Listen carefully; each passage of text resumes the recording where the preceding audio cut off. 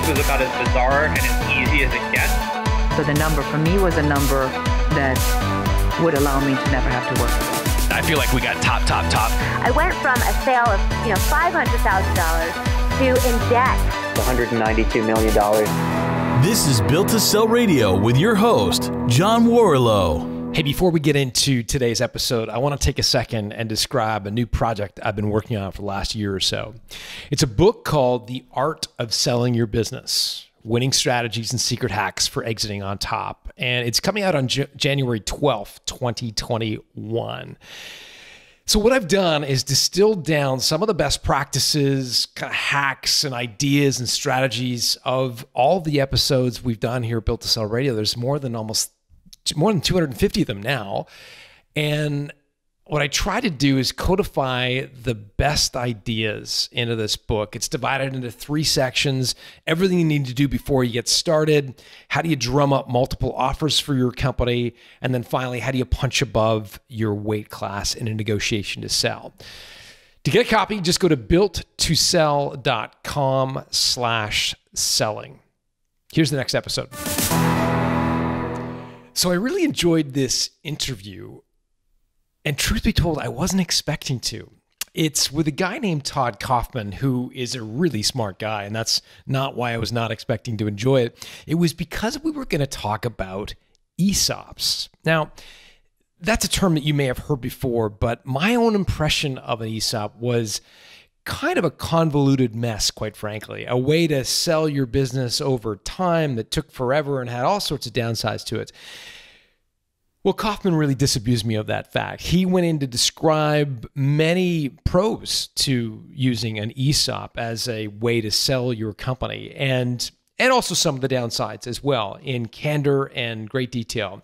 And so, if you've ever thought about this as a potential exit option, selling your business effectively to your employees, here to tell you the way he did it is Todd Kaufman.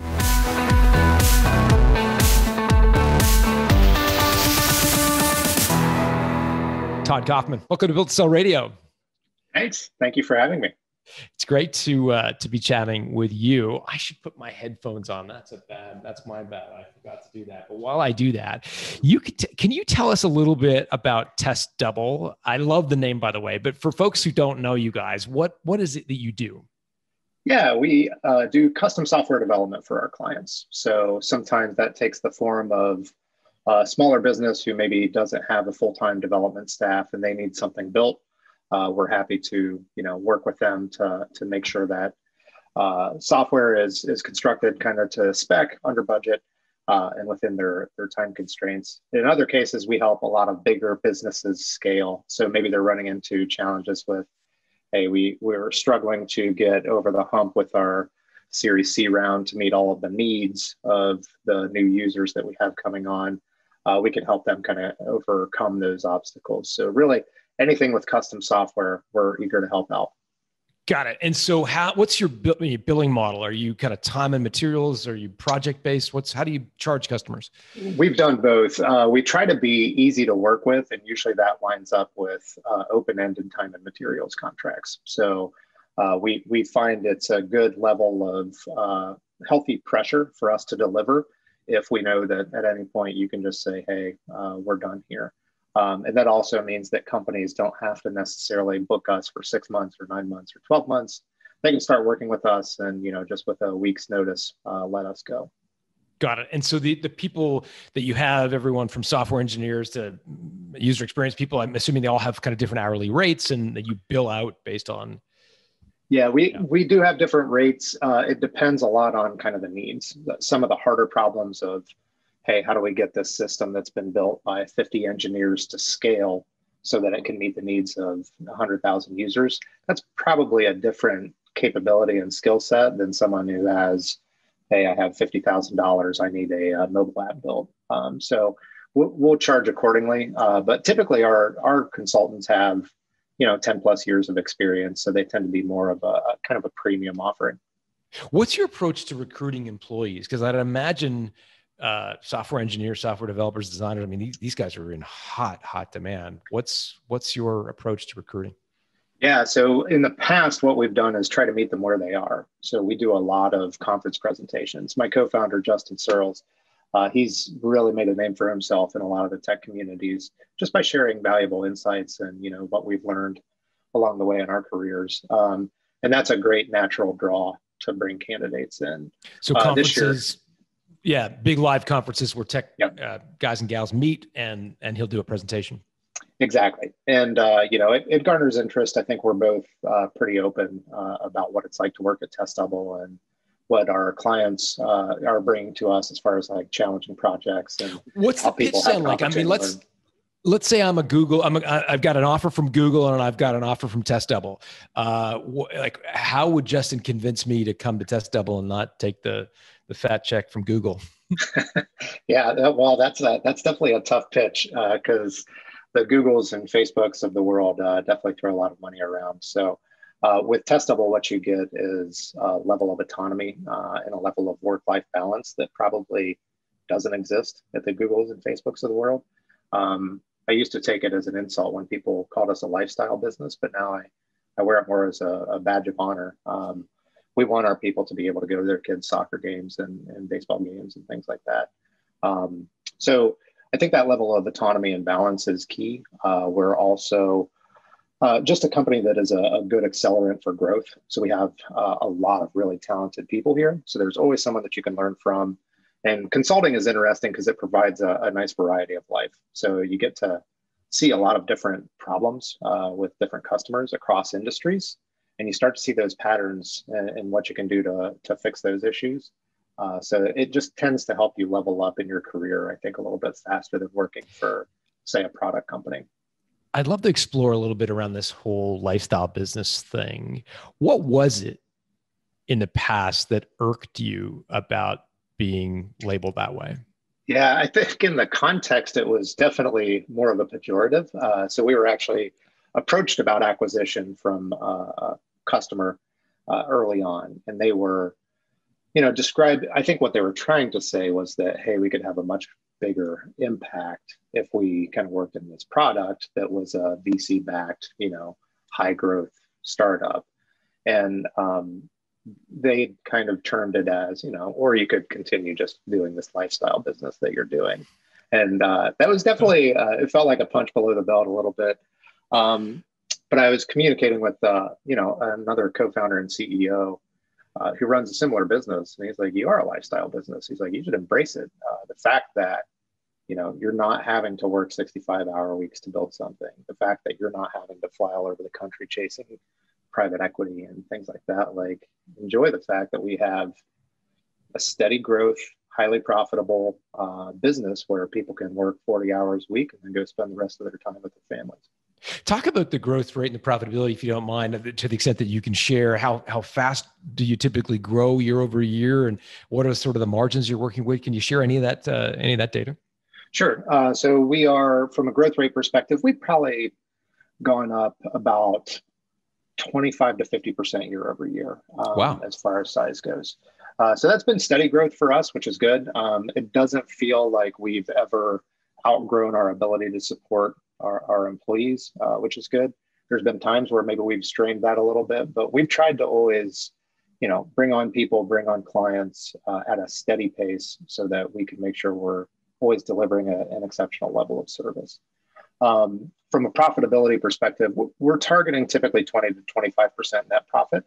Um, anytime it's outside of those, we want to understand why and we want to uh, see what we can do. Typically, if it's you know a higher profit margin, that means we're trying to figure out ways to to get that back to employees, either via a level of service and support internally or via you know higher salaries, et cetera.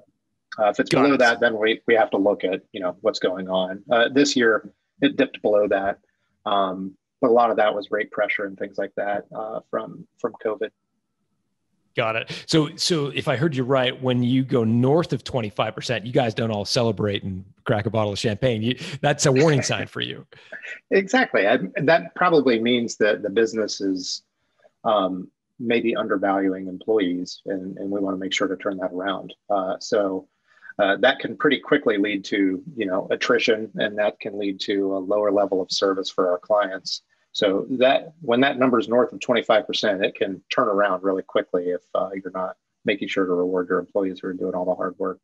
Got it. And and I know you've done a lot of work around around valuing the business, but as you started to think about your next steps as a company, uh, how were you thinking about the value of the business? Did you have any sort of benchmarks? Did you have a valuation done? What what was your uh, technique there? Yeah, we actually were approached. So we knew kind of towards the end of 2018, it started feeling like any exit for myself or my co-founder would take time, uh, or it would be really jarring to the business, right? Like uh, acquisition or merger or something like that. So we felt like we wanted to at least start planning for this, knowing that neither one of us was going anywhere for the next five or 10 years. Um, to that end, we actually were approached about a couple of different uh, M&A opportunities. So we found a, a, local consultant who actually specializes in M&A activity. And one of the things hmm. that he does is a discounted cash flow valuation. So he was able to provide us some some sense of hey here's what the business is worth um, at a at a pretty reasonable rate uh, and then he was also able to apply that to some of the other m&a opportunities that we could you know evaluate hey is this a good deal or is this something that we should pass on can you provide a definition for discounted cash flow cal- uh, valuation what, what that entails uh, for us it was a lot of past financials and uh, what he was using then was, you know, kind of the, the level of cash that we're generating um, consistently and the level of growth that we're experiencing. Uh, what would that look like as an investment opportunity compared to other alternatives? Uh, there were some discounts also made for marketability. Uh, we're we're not necessarily a huge business. We're not necessarily, um, you know, a product business where it's easy to kind of put a, a value on the assets uh, we're a services business. Like other than like 50 or so laptops, we don't have a lot of assets, right? Right. Um, so that that was what he was using to to provide that valuation. And sort of what multiple of your profit did that DCF render? Like if if you ran all the numbers, did you get a, a multiple of of pre-tax profit that he felt was kind of reasonable? Yeah, he he basically felt like it was a range, and I think that's accurate. So, and it depends on the buyer. Uh, you can probably get a higher multiple if you're going a PE route. Uh, you can probably get a much lower multiple if you're going merger or acquisition with a comparable company, uh, or even in our industry, a lot of times you'll see an acqui-hire where people are, you know, just buying you for the headcounts. That software developers are in need, as you mentioned earlier. They look mm-hmm. at Test Double and they're like, hey, that's a 50 person hiring event if we could pull it off. But that's also probably the lowest multiple that we would receive. So in the middle, it was somewhere around six and a half percent of EBITDA. Six or uh, six and a half times. times EBITDA, yeah, sorry. Got it. Got it. Got it. So six and a half times EBITDA was sort of where he thought it might land. Exactly. Okay and and so let's get into the the sale itself. So you mentioned you're roughly 50 people? Yes. Yeah. And i'd love to explore a little bit around the what triggered you guys to get on the front foot because it sounds like you'd sort of had a few very somewhat superficial conversations but then what changed? What made you go from eh, maybe one day you know we're four or five years away to getting on your front foot and, and, and really starting to to put some heavy work into it? Yeah, I think that um, really just being inundated with the different options that were out there, it felt like it was something that we needed to research and put a little bit more time into. So, mm-hmm. 2019, this was largely the main strategic project I worked on was to figure mm-hmm. out, okay, what are we going to do? Um, and I think the impetus for that was was a couple of reasons. One, uh, we really strongly feel like our purpose, our mission as a business is never going to be done. Uh, our mission is to improve the way the world builds software because the industry is still broken in a lot of ways. And that's that's not gonna it's like an asymptote, right? Like you're never going to actually be done with that mission. So we felt like, okay, the business should be sustainable uh, in the long term. And that means it will outlive myself and my co-founder if we do it right.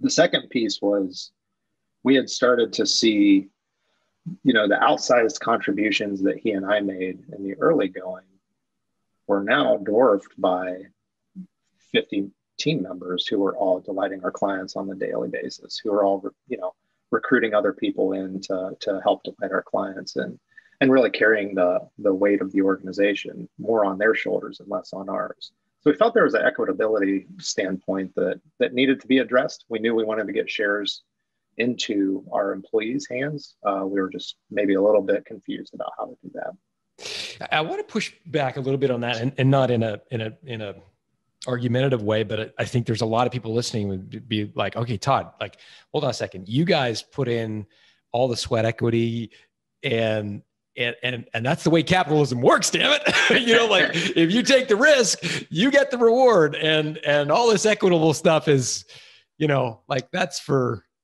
people in portland to worry about this is this is capitalism damn it yeah there's i mean rebut that that that sort of way of it, thinking it's it's honestly something that we went back and forth on a number of times throughout the years and you know a lot of our peers would refer to it as owner's guilt and kind of dismiss it that way, right? Like, oh, you're just suffering from a bout of owner's guilt.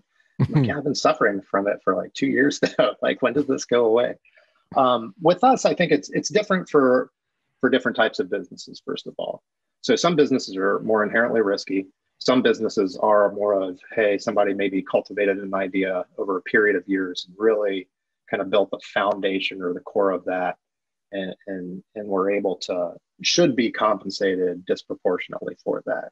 I think with us, if we felt the transition from, hey, we we took a lot of risk, no doubt about it. We've worked a lot of hours, put a lot of time and energy into this business, and we felt like should be rewarded for that, no doubt.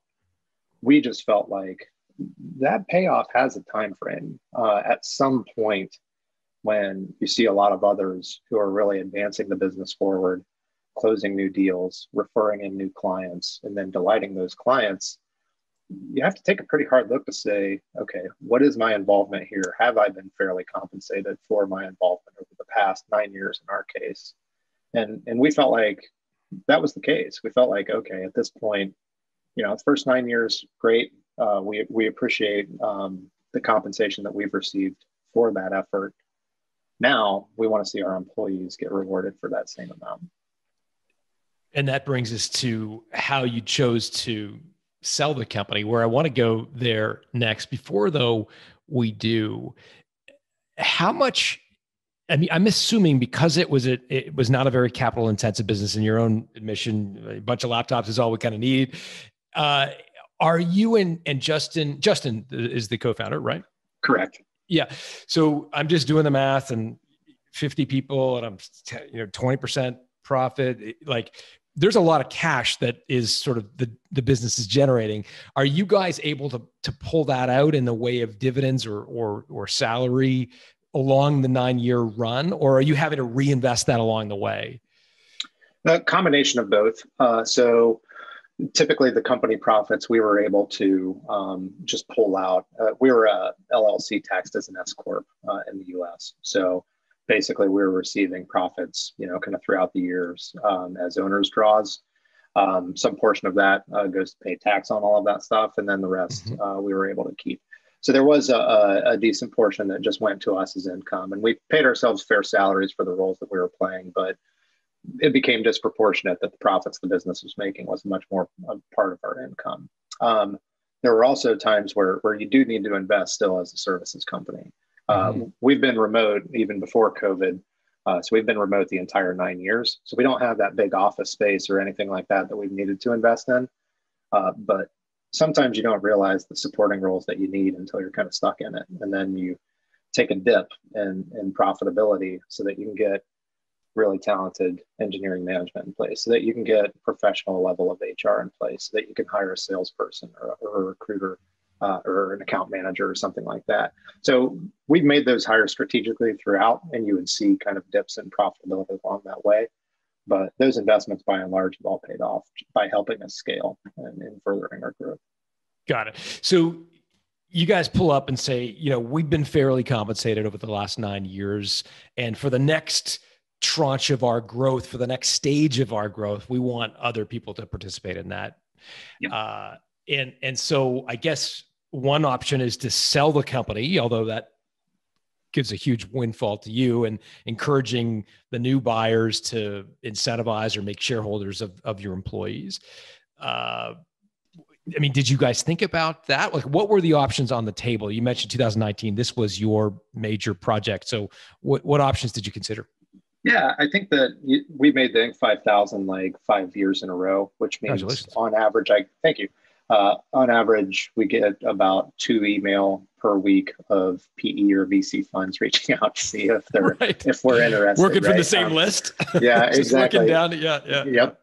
Uh, so, so those are always flattering, of course. So we we did take a look at that, and that would have been a higher outcome for for Justin and myself. Uh, what we felt it lacked was that path for sustainability, because um, one, you're kind of conceding your culture at that point. Uh, you're letting PE and or a VC firm kind of own what is the focus, and I think in 2020, had we done that, the focus would have been on slashing you know, uh, expenses uh, whenever we started to see some bench. So I think it would have hurt our culture and it definitely would have transferred equity into our employees. We also looked at, you know, uh, merger and acquisition options. Those can be risky. If you can find a similar company, I think that aligns with your purpose. And if the sum is greater than the parts and the finances work out, like you have to have all of those things, then it can be a good outcome. And we just didn't see one of those materialize. Um, beyond that, we were looking at other ways just to get maybe we could sell shares to our employees. Uh, that was an option. Uh, the problem with that is it puts more of an onus on the employee to have some level of liquidity um, or access to cash or access to credit. And we felt like that wasn't equitable. Uh, we didn't want somebody who maybe didn't have great credit, who maybe you know um, didn't have a lot of access to cash, who was a great member of our team and delighting our clients, we didn't want them to be left out or disproportionately uh, affected with this transaction. So the ESOP was really the only one that we felt kind of scratched the, the itch of Justin and I get fairly compensated.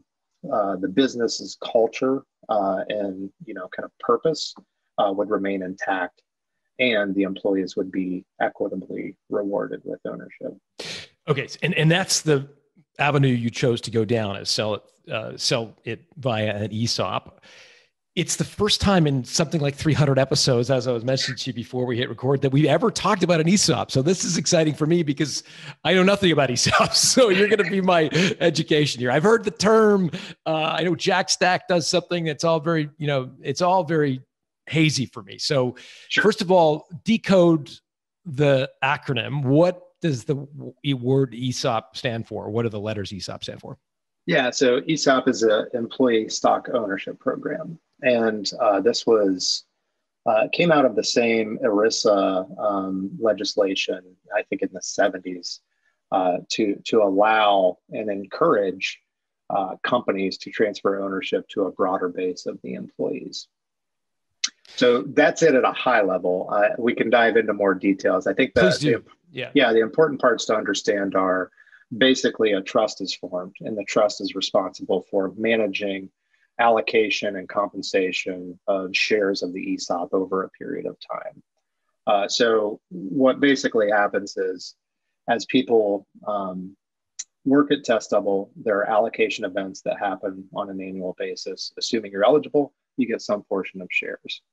Uh, and it's basically the company is transferring its shares from it to this ESOP trust, and then the ESOP trust is assigning those to people, and it has to be done on uh, in a fair way. For us, that's based on compensation. So the shares are split based on compensation throughout the year. So people um, who earn more get more uh, shares in the ESOP, exactly. higher paying, higher paid people.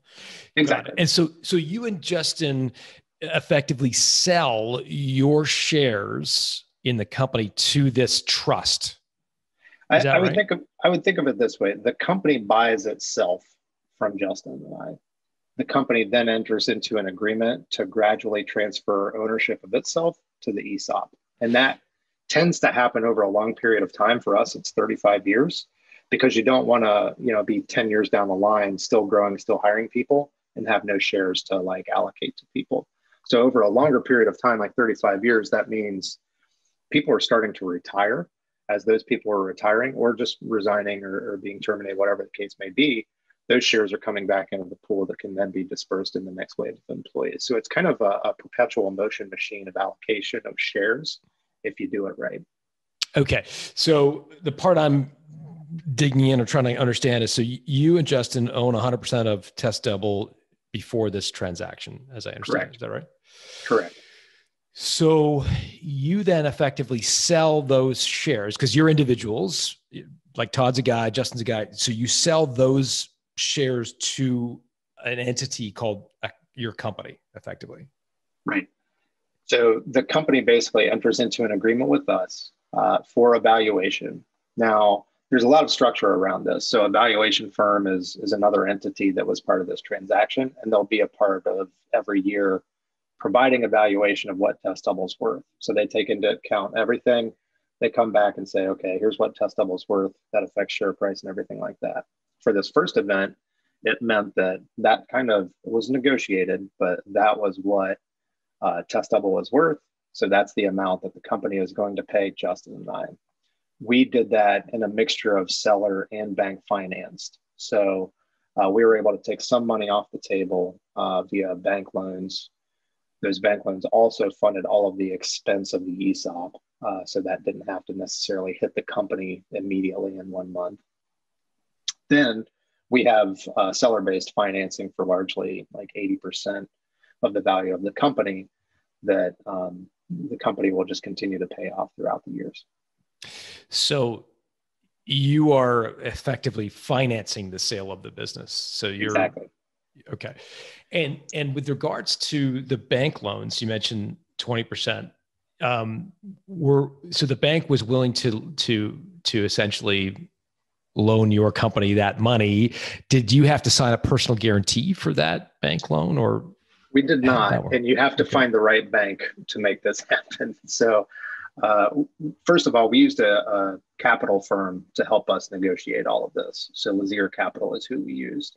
Uh, they're very familiar with ESOPs. They probably do 25 ESOP transactions a year. They have a lot of banking relationships. They know a lot of trustees. They know a lot of valuation firms. So, like, paying for them to have all these connections was pretty instrumental to our success. Mm-hmm. Um, finding a bank that invests in a company that has good profit margins but zero assets is non-trivial. So uh, they found one that was extremely savvy and understood ESOPs very well, understood what they meant and how high the likelihood of repayment was. Um, and that was Fifth Third. In our case, they were able to, um, you know, give us a loan for I think it was uh, 4.75 million. Um, that was basically unsecured by assets uh, other than just you know the company entity itself. Um, so that required a, a, lot of due diligence, but that, again, that's been a, a, great relationship, and it's been odd. I think the the healthy pressure of knowing that you have some some outstanding debt, some sizable outstanding debt, makes you focus on on really running the business in an efficient way. And and so I'm assuming that the way Fifth Third structured it is they are first in line in the event of some sort of default by the company that they would get paid back first. Is that right? Exactly. Their primary and I sellers notes are subordinate. Okay. Got it. So if I'm doing the math right, they they loaned you four and a half million dollars, which is, equates to 20% of the overall value. Is that right? So exactly. So our valuation was at 23 million. Got it. Got it. And that was a higher multiple than what I had described before, because we were doing as a company somewhere around three and a half to four million in EBITDA uh, prior to this. Got it. So yeah, so three and a half times six and a half is around twenty. Is that right? I'm, I'm yeah. so there, it was a little bit uptick there. It, the good thing was, um, again, that our capital partners helped us, uh, you know, provide a lot of documentation on why we were valuable. So you start as you go through this process, you start learning about the things that the banks care about that others have seen uh, that weaken your valuation. So, for example, we've always known that customer concentration is, is something to keep an eye on. They're really diligent about understanding okay, how much accounts receivable is that your biggest customer? What is the percentage of, of overall, right? And we're trying to keep that below 15% based on these conversations. Um, that was the that was the point at which their eyebrows would get raised at the bank when your biggest customer equated to more than 15, 15 percent of your exactly. Revenue. Yep. So when you when you start seeing a lot of customer concentration, it's just inherent risk. Uh, so you have to be aware of that. We've always been aware of that, but it's it's something that you manage for a little bit differently. And it's not like you want to fire that customer, right, or that you want to turn down additional work. It just means you need to apply a little bit more effort to to finding new customers and building up around it. Got it. Got it. Okay. So if I'm if I'm understanding the the, the rough math here, um, total valuation of the company was 23 million, which is a little almost seven times EBITDA, somewhere in a half, six, six and a half to seven times EBITDA. You guys got four and a half up front. You put that in your jeans. They can't touch that. That's that's your money.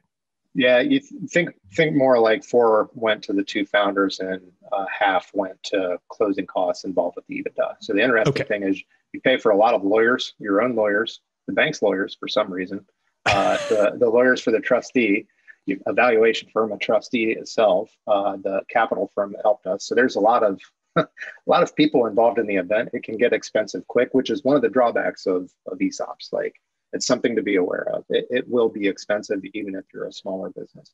Yeah, all the administrative and frictional costs, et cetera. Okay. And then so the the the balance, the 80% you agreed to finance, do you get an interest rate on that financing? Yeah, so we we have good interest rates on that. Um, we're basically compensated with both interest and with interest rate replacement warrants. So the, oh wow, what is that? yeah, so uh, the interest is easy to talk about first. That's paid quarterly, and and the business just pays interest to us. Basically, as we pay off one bank loan, we'll go and re up another bank loan. That will be paid towards the principal of the the seller's notes, and then we okay. just kind of repeat. what rate is that at, Todd? Four percent. Okay, so you're doing a lot better than you'd get just putting your money in the bank and getting exactly. you know half a percent or whatever.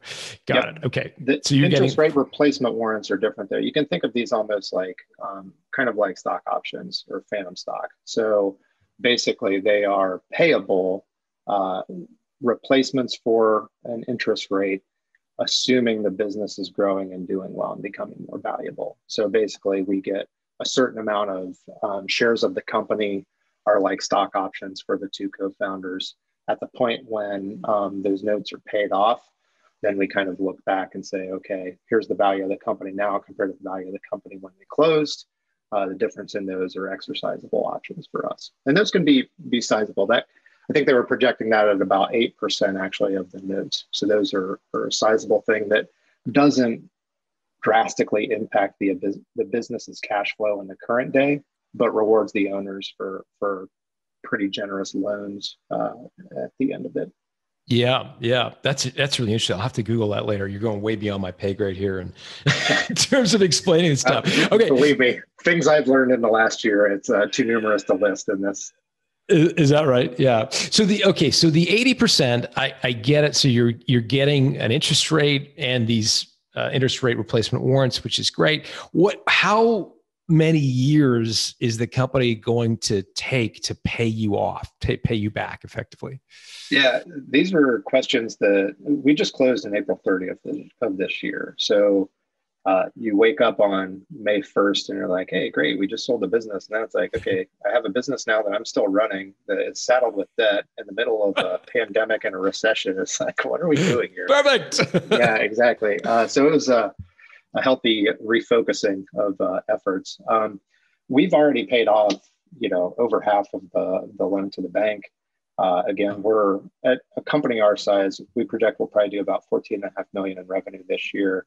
Um, you know, looking at somewhere around 25%, that's about 3.75 million uh, in profit. So uh, we're seeing we are growing too as a company. So we're targeting 16 million or more, 16 and a half million next year. Um, we think this thing can can get up to 150 people, which would be about three times our size, hmm. uh, without a lot of changes. So, in that case, we would probably pay this thing off in about six, maybe eight years at most. Even if we just stayed flat, you know, we're talking probably eight, nine years, ten years at most uh, to to get out from all of the debt. And what I'm hearing you say is there's no fixed timeline. It's a bit fluid based on how yeah, there must be some minimum amount that the company pays for the bank. You, yes. Or, so the the bank, the bank loan. Okay. The bank had exactly the bank. I think that first note was like amortized over five years. Okay. Uh, but we're there's also clauses in there that we have to pay uh, excess cash basically to pay that down. But we're well ahead of all of that. Then when you get to the seller's notes, the, the good thing about seller's notes is you can be extremely flexible with repayment on this stuff. So if the company had really fallen on hard times and cash flow was a problem this year, we could forgive the interest payments to the seller's notes or at least defer them to a later date. And that would um, basically give the business the the flexibility and time it needs to pay this stuff back. But the seller's notes, there's there's not like a, a hard date that they have to be paid back on. Um, it's more of just the clause that no, as you pay off the bank loans, it's in the business's best interest to renegotiate for lower rates. So we'll we'll repeat that process as these are paid off, go out to banks again, and see if we can get you know uh, another four or five million dollar loan, pay down the seller's notes, and we'll probably repeat that process four times or so. Got it. And and so it's I find this really interesting with regards to the um I lost my train of thought. I, I'm, I've got so many questions going through my head right now. So there is a in the case of an ESOP, I understand there is a, a kind of a third party. Uh, it's like an administrator, or what do they call? What, what is that? Like a chairperson, or what? That's what exactly what they call them is third party administrators. Administrator. Uh, so, okay. Yep. Okay. So, uh, is it their decision uh, whether or not to pay off the seller notes? Uh, is it? Do they have to say, "Well, yeah, we've got the cash to do that. We want to accelerate, decelerate"? Like, are, are you at sort of arm's length from that decision to pay off the seller's note or what? A little bit, yeah. So basically, that was one of the um, one of the clauses involved with negotiating the um, establishment of the ESOP. So it was basically the company will, as these loans are paid off, go out and get more loans to pay off sellers' notes uh, and use that because it's in the best interest of the company. Uh, so I think that clause is, is basically meant to cover that. Got it. And did you consider how the ESOP structure would affect the sale of the company the next time around. So in if you guys grow to 150 employees and whatever it is 20, 50, 30 million dollars in revenue and the decision is is taken to sell the company that the employees would all similarly benefit from that sale. Eh, eh, did you guys think about what, if any, implications being an ESOP would have on the liquidity or sellability of the company? We did, because then it's not just a decision that Justin and I make. At that point, uh, any uh, basically any like M and A type uh, event, uh, then the trustee wants to represent the interests of the employees. So the employees would have a voice in okay, is this a good deal or not?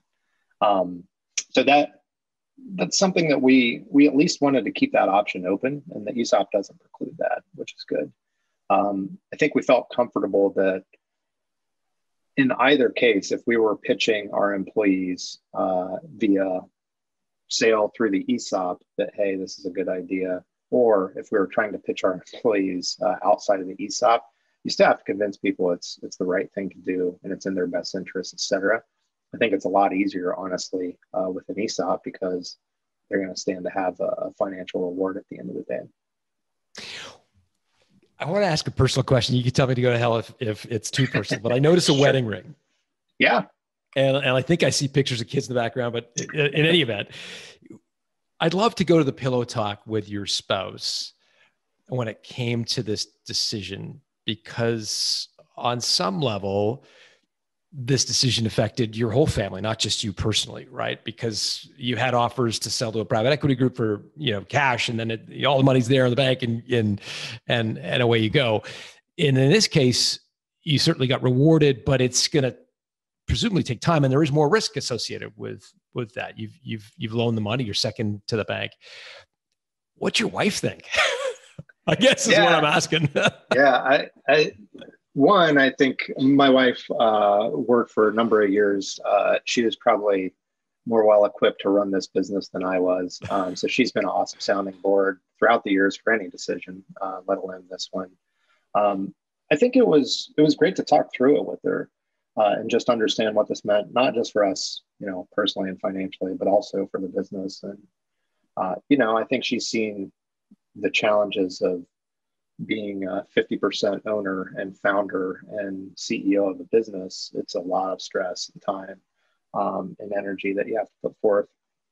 I don't know that that's shrunk a lot since the ESOP is closed, but I think we see a path now that aligns with our own personal goals. To uh, one of the benefits of the ESOP is that you separate sale of the company from involvement with the company. Right? Justin and I are both still involved in the company. He's CTO, I'm CEO we're still day in day out working to make Test Double uh, an even better software consultancy.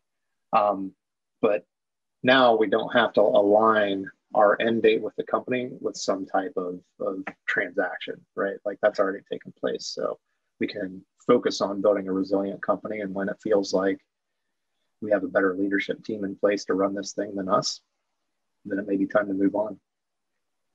What were your employees' reactions when, first of all, before you announced the ESOP, were you getting pressure? You mentioned that you and Justin were like, you know what, we're kind of getting too well rewarded for running this company. At some point, we got to pull up and say, like, we've we've been rewarded for the risk we take. Like, we got to start sharing some of this stuff. Were you getting pressure from employees saying, "Hey guys, come on, I'm I just won that big deal you know, give me a fair cut at this. Uh, you know, I'm leaving to go to Google because I'm not getting paid. Were You like, were you getting pressure from people to start sharing some of the the spoils?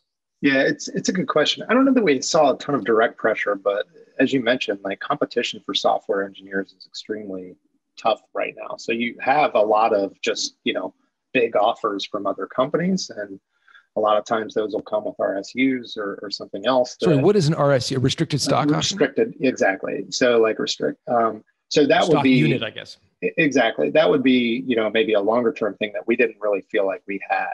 So we've always been open books with our people. So we I publish our uh, consolidated version of our income statement every month to all the employees so that they can see what's going on in the business. Um, we also always had like a some means of aligning their interests with the profitability of the company. That was typically a bonus pool where basically 10% of the company profits twice a year were distributed among the uh, employees who worked here. So we felt like those pieces were important, but the numbers were getting big enough where I think people were starting to look at it and be like, hey, we made 3 million last year and I got a $12,000 bonus check. Like, where does the rest of this go? And it's like, well, um, so yeah, I think that it's a fair piece. I don't know that we had a ton of like direct pushback, but we definitely felt competition for people's services. Now, I think that what people see is again, they're a little bit, I think, probably just skeptical because there are so many bad deals out there with regards to equity, uh, especially with like startups. Um, they've all probably been burnt in one way, shape, or form in the past. So they're they're treating this very skeptical one thing we did was we did a cash contribution in 2019 to try and jumpstart this, to try and accelerate this. So people, you know, as soon as the program was launched, had a pretty sizable balance, almost 25% of their um, annual compensation hmm. in the plan already as cash, um, ready to move forward. Now, the, the challenge is they'll get some shares this coming year, but the valuation of the company will be depressed while it has as much debt as it does. So it won't be why, the same why, value. Why would that be the case? So we were before as a services company, we were highly profitable, making you know three million a year. Now as a services company, we're highly profitable, but we have twenty million dollars of debt at this point. Right? Sure, but your multiple was based on EBITDA earnings before interest, taxes, depreciation, amortization. it, it's also based on the fact that we had zero debt, right? So like people okay. always take that into account as well. Um, okay. So the whole picture is going to show that, um, and the whole picture shows now, hey, company is still highly valuable. It's still growing. It's still very marketable. It's just got a different balance sheet than what it did before this transaction. So the shares will be depressed for the first few years, but then it'll take off like a rocket as we grow and as we pay down that debt. So it's probably a little bit of a leap of faith for the next two or three years for people to see what this can actually mean for themselves.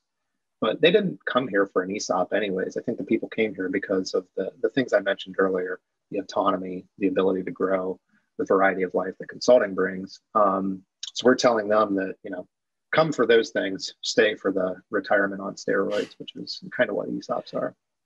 Got it. And and so going back to this idea of publishing your consolidated financial statements, um, what went into the decision to do that, even prior to the ESOP?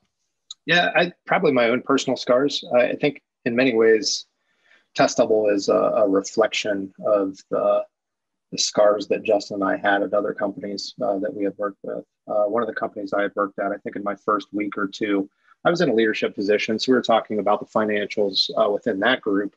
And, you know, it didn't come up in the interview process, but we start hearing about one of the founders moving money out of their 401k so that we can make payroll. And I'm like, whoa, what are we doing here?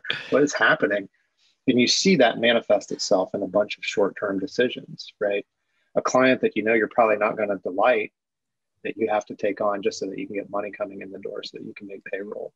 All these little ways that you can, you know, uh, make decisions in the short term interest of the business, but that have like negative long term effects.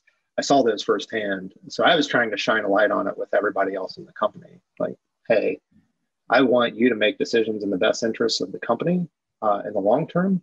For you to be able to do that, you have to understand where we're at financially. It's a huge piece of the puzzle. Uh, so that's that's what we've been trying to do. Um, and it's interesting as we've grown, we've hired people who used to be CPAs and things like that, and they come in and they start talking about accrual with some of our other employees. you see, you see the level of like financial competency kind of grow within the business. So now, when we're doing budgeting and strategic planning, having 20 people involved is a good thing because they're all thinking about those things. So when you started sharing the profitability, it was more, it sounds like, in an effort to uh, communicate how solid the business was and how profitable and how well run it is. Um, is that am I putting words in your mouth, or was, was that part of the motivation? That's definitely that's definitely a big part of it. So we wanted to, people to know one, hey, this is what the business is doing. Uh, we even told people, hey, this is what we're keeping as far as like a runway in cash and accounts receivable on hand so that you don't have any reason to worry. Like we're a small mm-hmm. business, uh, but we have you covered. Like you're going to have plenty of time to find something else should things start going sideways. Um, so that was what we were trying to communicate. But I think we also wanted people to to be able to speak up. If we're seeing profits go above that 25%, I want people to know uh, hey, this is the situation that we're in. What do we do with this stuff now? I want to have that discussion with people now too.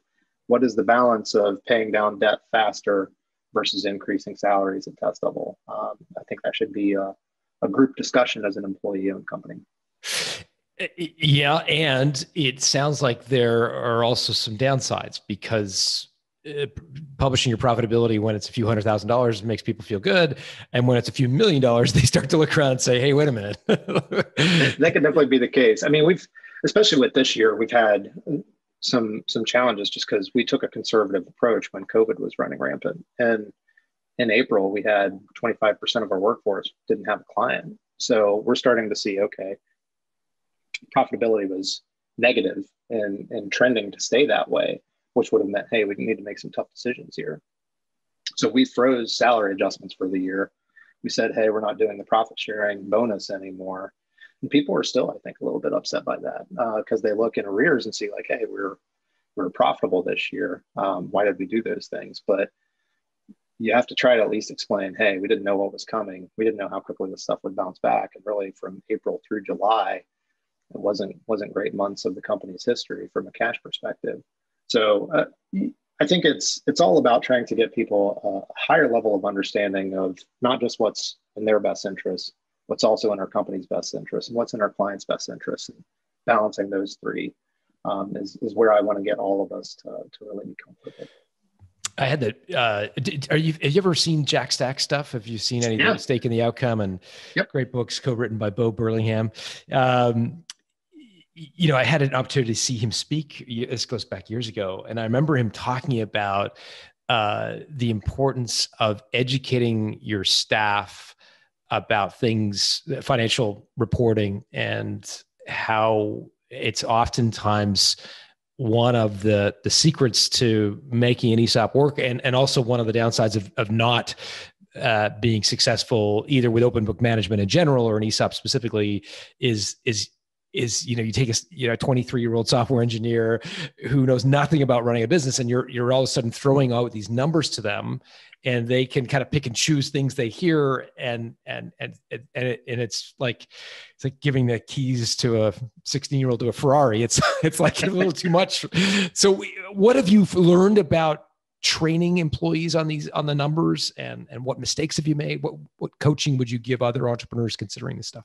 Yeah, I think uh, first and foremost, don't assume that what you've learned uh, is widely understood. I, I think, if anything, if I could go back, I would spend a lot more time articulating the why, the how, what this means for people, doing it in ways that they appreciate and understand. Because specifically, what though would you communicate on the why and the how? Like specifically, what do you think you might like to have a mulligan on? The really what the ESOP structure is and what it means for people and what it meant for the business and what it meant for Justin, myself, and what it means for the employees. Um, and and just kind of really articulating what that is and then separating that specifically from like other decisions that we were making around the same time caused by the pandemic and the recession. Um, so i think that it's a complex transaction. There's inside loans. There's the that's the loan from like the company to the esop there's the seller loans. There's bank loans. People hear all this stuff and are like confused about what's happening. You know we've had people say that seems like todd and justin are putting the business in harm's way by all the interest and stuff on these loans. And it's like, it's not the case, right? Like one of the other benefits I haven't even talked about with ESOP is that the company has an S corp that's 100% owned ESOP now. We have no federal income tax liability, and in most states we have no income tax liability. Wow. So assuming that that's at like 20 to 23 percent, that's a sizable chunk from 3 million to 4 million. Uh, so that more than offsets like any interest payments that we're making as a result of this ESOP. But again, those are things I'm taking for granted that I didn't communicate to the people. So they're they're left to like kind of come up with these negative fantasies when if anything, like the business hasn't changed, still profitable, still doing well, your work's still appreciated. Only thing that's changed is you're going to own a piece of it every year. Uh, you're going to own a little bit more, and, and you'll see the benefits of it. And and do you think you've made that case successfully, or are there still holdouts? I think by and large, I think again with our industry, there's a lot of deep scars from people who've I shouldn't say feel taken advantage of from people have who been, have yeah. been taken advantage of. Um, those are those are real experiences, and I can't you know change the fact that that's the lens that they're going to see the world through. All I can do is you know try to articulate what's going on here um, empathize with their viewpoint and you know hopefully they again stay for the reasons that make Test Double a great company um, and and you know start to see the benefits of this program a few years out in your lowest moments, do you ever feel a little bit resentful? Like you're like, don't you know I could have sold this damn thing for millions and be on a beach in Maui and not dealing with all of you people and all your pain? like, don't you understand? Do you ever feel like that, like that, that sense of resentment boiling up around you? I, I, don't know if res- I've literally said portions of what you just articulated, um, but I, I don't know that it's resentment as much as just uh, maybe a little bit of frustration that people feel like we're trying to pull one over on them or people feel like we're prioritizing our own benefits above theirs or above the business. Because really with esops there are so many structures in place to make sure they can't be abused uh, by ownership. Uh, so esops are in my opinion the one way that you get uh, really fair and equitable um, ownership among a broader base of employees. And, and, the reality is, people didn't really need to do anything to receive it, right? They're, they're still continuing to work uh, for the compensation package that they agreed to when they came in here. So I don't know that resents the right word, but it's definitely frustrating to to try and do something that you feel like is really in people's best interest that you didn't necessarily need to do uh, and get pushback that hey uh, what, what's in it for me and it's like well, the company's in it for you it's right here it's being given to you would you do it again if you had to do, to do all over Definitely. Definitely. One of the reasons I love uh, getting on uh, podcasts like this, talking about it and talking about it with other, you know, magazine articles and things like that is that I think more and more businesses need to understand this is a huge win for you as an owner. It's a huge win for your business. it's a huge win for your employees. And Jack Stack was onto something like this is how you, you know, apply the great game of business uh, this is one way that you can do it so that people start to see hey my my actions at this client are directly affecting our bottom line and i'm going to be the recipient of that uh, in some way shape or form So I think it's it's a really great tool for alignment uh, with employees and with the business. And I I honestly don't see a lot of drawbacks. Like it doesn't work for all businesses because there are some cash flow considerations. There's a certain size of business that you need to be, I think, for you to pull this off. Uh, but man, if if people are able to to take a hard look at ESOP as a strategy, um, I think they should do it. Again, I, have heard numbers in, in and around sort of 30 employees would be sort of roughly a minimum cutoff. Would you, would you, in terms of to under, you know, the, the administrative burden, the expenses of that, you need to have a certain size? I think that uh, some some it's at 20 or more employees. I think when we were first okay. talking to people, um, cash flow of uh, one and a half million or so. Um, because and, you got to pay down know, the debt, and, and there's a lot of exactly. You, you got to have some money to yeah. And I think that it's just going to be hard to finance the actual transaction costs if you're not making enough cash. So I think you, you want to be able to, to pay that stuff off. Uh, it doesn't have to be extremely quick, but definitely can't wreck your finances of your business. Otherwise, people are just owning shares of something that's not worth anything. Got it. Got it. Well, I, am just so grateful for you to educate me on this topic. I know uh, it's uh, it's one that I've been curious about for a long time, and so I'm really excited to uh, to have had the opportunity to speak with you about it. Um, if people wanted to reach out uh, and and sort of connect with you, I don't know if you could point them anywhere to do that. Uh, a website. You should uh, let's let's make sure we we let people know about Test Double if they want great custom software develops, where can they find out about Test Double? Yeah, definitely. So our website is uh, www.testdouble.com. Uh, you can definitely uh, find out more about our business there. I love talking about this stuff. Um, again, I'm still at the novice level of ESOP understanding, so I've learned a lot. If I've wait a minute, what does that on, make me? I don't, I don't know. but if I've misspoken on anything, uh, you know, hopefully somebody can correct me and we can, you know, add that to the show notes or something. But um, yeah, I love talking about this. I love, uh, you know, just kind of uh, hearing from other founders some of the challenges and, and their paths for uh, pursuing exit strategies and, and more broad ownership uh, specifically. So if people want to talk to me about it directly, they can reach me at my email, which is todd, T-O-D-D, at testdouble.com. Awesome. There you go. Right to the horse's mouth. Todd, it was great to meet you. Thank you for sharing.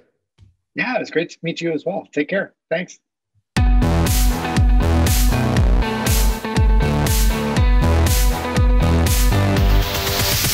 Thanks for listening to Built to Sell Radio with John Warrillow. For complete show notes with links to additional resources, visit builttosell.com slash blog.